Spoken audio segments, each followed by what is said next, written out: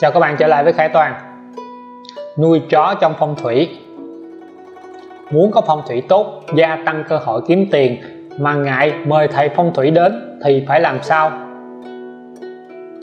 Nhà cửa sạch sẽ, ánh sáng đủ, không khí trong lành, thường xuyên có tiếng cười, đạt được những điều này là có phong thủy tốt, không cần phải mời thầy phong thủy.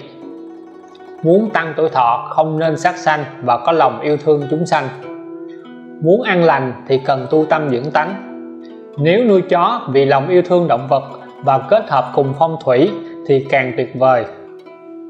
Người sinh mùa thu thiếu mộc nên nuôi mèo thỏ. Người sinh mùa đông thiếu hỏa nên nuôi chó để tăng vận tốt. Ai thích hợp nuôi chó? Chó là loài thông minh, trung thành với con người, nhưng cũng có nhiều người rất sợ chó đây là do sinh thần bát tự gây ra.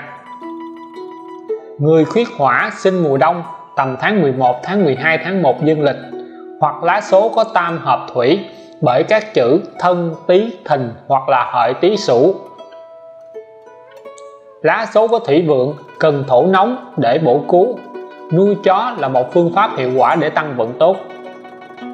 Những ai có bát tự lạnh, sinh cuối năm đều phù hợp nuôi chó trong sinh hoạt và ăn uống, họ thích ấm hơn là thích lạnh. Cần hỏa nuôi chó là cách bổ cứu tốt nhất.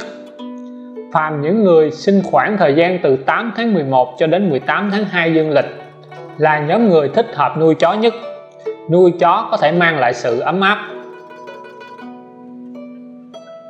Nhóm người không thích hợp nuôi chó. Người sinh vào tháng thìn tầm tháng tư dương lịch. Vì thìn tuất xung nhau người sinh vào mùa hè hoặc bát tự nóng, tức là người sinh vào 4 tháng, tỵ, ngọ, mùi và tuất, bát tự khá nóng. Thông thường, những người có bát tự này không nên nuôi chó, không thích hợp chạm vào chó hay làm bạn với chó thường xuyên. Những người trong trường hợp vừa nêu đều có chung một nhận dạng, khá nóng tính, thích mát mẻ hơn oi bức. Một số trong họ rất sợ chó chó hoang vào nhà xử lý ra sao? Không ít trường hợp các bạn theo dõi kênh youtube hoặc tiktok của Khải Toàn, nhắn tin hỏi, trường hợp chó hoang vào nhà nên xử lý như thế nào? Nếu người kỵ hỏa gặp chó vào nhà không phải vẫn tốt. Nhưng đây lại là cơ hội để bạn sự thể hiện sự bố thí, nuôi hoặc cho chúng ăn trong điều kiện có thể. Đừng vì tin dị đoan mà xua đuổi chúng. Vì sao bao nhiêu nhà mà chúng lại vào đúng nhà bạn? Đây có phải là duyên sinh? Biết đâu trong tiền kiếp, chúng và bạn có mối liên hệ gì với nhau? Nuôi chó màu gì? Người khuyết hỏa nuôi chó màu vàng nâu là có nhiều hỏa thổ nhất.